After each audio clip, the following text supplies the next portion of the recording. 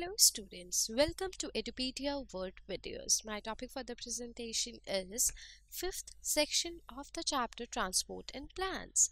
In this section of the video, we will be discussing about the vascular tissue system.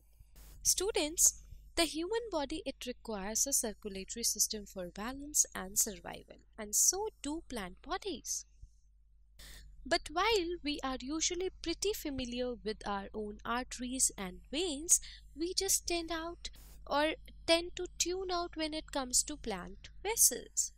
So plant vascular tissue system is what distributes water and nutrients to different parts of a plant. Vascular system they are made up of xylem and phloem and that is called as vascular tissue. Students, not all plants have vascular tissue. Algae don't need it since they are immersed in their source of nutrition and hydration. And mosses, they don't have vascular tissue either. Water and other materials move throughout these plants by diffusion. So this is the major reason they don't grow to be very tall. Higher plants, gymnosperms and angiosperms, they do have vascular tissue. Okay, so vascular tissue is a tissue that is associated with conduction in plants such as xylem and phloem. And then comes vascular plant. Plant with highly developed conducting tissue is called as vascular plants and vascular plants they are called as tracheophytes. And the main function of uh, vascular tissue is conduction. Obviously, conduction of water, mineral, and food material. And the additional function of vascular tissue system is to provide mechanical support. For example, secondary xylem. Secondary xylem it increases the girth of a plant body. Okay. I have already taught you about uh, secondary xylem in detail in the chapter anatomy of the flowering plant. You can refer to that presentation for better understanding. Okay. Now, uh, organization of vascular tissue in stem. First is vascular bundle. Vascular bundle wherein xylem and phloem they are grouped together to form the vascular bundle. So this is one entity wherein xylem and phloem they are grouped together and they are grouped together with the cambium. Okay. Then comes cambium. Cambium cells can divide to give rise to new xylem and phloem tissue, hence thickening of the stem. That means thickening of the stem takes place because of the cambium. Then comes pith. As you can see, this is the vascular bundle and these vascular bundles they are arranged in the form of so the vascular bundle when they are arranged in a ring and that surrounds a central region which we call it as pith. So this region is called as pith which serves as a storage tissue for food substances. Then comes cortex. Cortex is the region between vascular bundle and epidermis is cortex which also serves as a storage tissue for food substances. Then comes epidermis. Epidermal cells they are covered with a layer of wax which we call it as cuticle.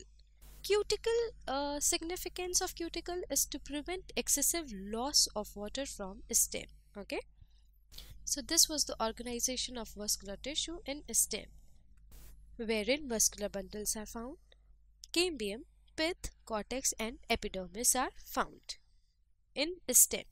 Now we'll talk about the organization of vascular tissue in roots.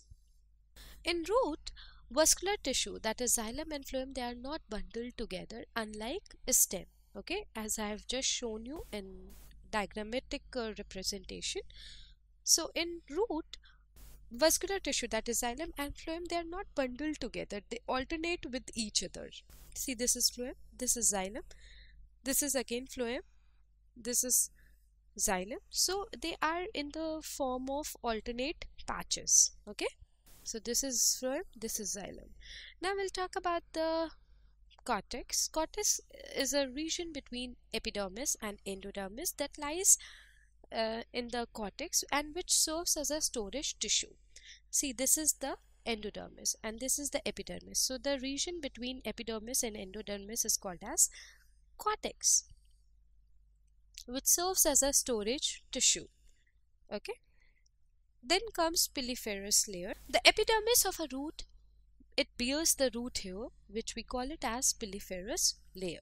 So these are the tubular outgrowths of a epidermis cell. See, these are the epidermal cells and these are the outgrowths of a epidermal cells and thus we call it as root hairs and this layer is called as piliferous layer and each root hair is a tubular outgrowth of an epidermal cell okay? So let's see organization of vascular tissue in root. It has root hair which we call it as piliferous layer. Cortex which acts as a storage organ for storing food material. Then comes vascular tissue which is phloem and xylem which are which are in the alternate or which are arranged in an alternate fashion the students question arises what is vascular tissue vascular tissue it is composed of two type of tissues first is xylem and phloem Xylem, it is used for the conduction of water and mineral and phloem, it is used for the conduction of food. Xylem and phloem, they are complex tissues. Why they are called as complex tissue? Because they are they consist of more than two type of cells. Then uh, see this is uh, xylem where uh, it conducts uh, water and mineral and there is no end wall between the cells. Can you see the end wall? between the cells? No. See, this is the one cell and this is another cell. Can you see the end wall between these two cells? No. And only one way transportation takes place and outer cells are not living. See, this uh, cells, they are dead. Okay. Now, this is phloem. It conducts organic molecule. Unlike xylem, it has end wall which we call it as sieve plates. This is two-way movement. That means it can go from down to upside and from upside to downside and cells are living but they need support. Students, vascular tissue, it is derived from procambium. Vascular tissue it is also called as vascular bundle or they are also called as vascular strand or vascular cylinder. So don't get confused with it. According to the arrangement of xylem and phloem, they are of three basic types, which are those. First is radial, second is conjoint, and third is concentric. First, we'll talk about the radial vascular bundle. Xylem and phloem, they are radially arranged in form of separate bundles on different radii. Let's see how it is.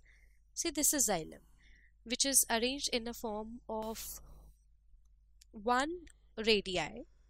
And this is phloem, which is arranged in the form of separate bundle on different radii. So this is xylem pink one and this is phloem okay?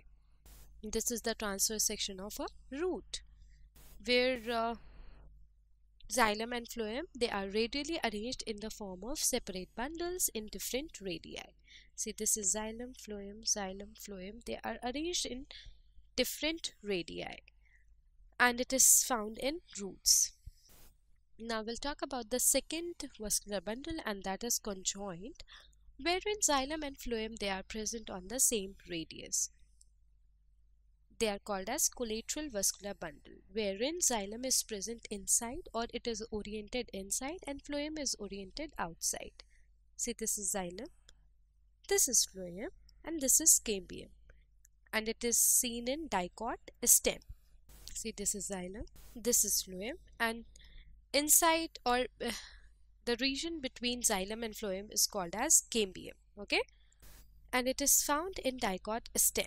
This is xylem, this is phloem, but no cambium is formed, and it is seen in monocot stem. See, xylem is this, phloem is this, and no cambium is found. Hence, it is seen in monocot stem. The students, cambium is present. That's why it is called as conjoint collateral open type. Open type because it has cambium in it. Whereas it is called as conjoint collateral closed type. CCC, triple C and double CO. Conjoint collateral closed. Why? Because cambium is not present. Bicollateral vascular bundle wherein phloem is oriented outside, xylem is oriented in the middle and phloem is uh, again oriented inside. So xylem is uh, sandwiched between phloem and phloem. So this is xylem and these two are phloem. So this is phloem, this is phloem and this is xylem and this is cambium and it is seen in transverse section of stem see this is xylem phloem and phloem okay and this is outer cambium this is inner cambium and this vascular bundle is always open type because it has cambium present between xylem and phloem. And it is seen in cucurbitaceae family. Then comes third vascular bundle or third type of a vascular bundle and that is concentric vascular bundle. One type of vascular tissue is surrounded by another. See this is xylem this is phloem and this is called as hadrocentric concentric vascular bundle. And it is also called as amphicribral. And it is seen in transverse section of stem. See this is xylem. And outside or it surrounds phloem. And it is seen in fern. Then comes another concentric vascular bundle wherein phloem is oriented inside and phloem uh, sorry xylem it surrounds the phloem.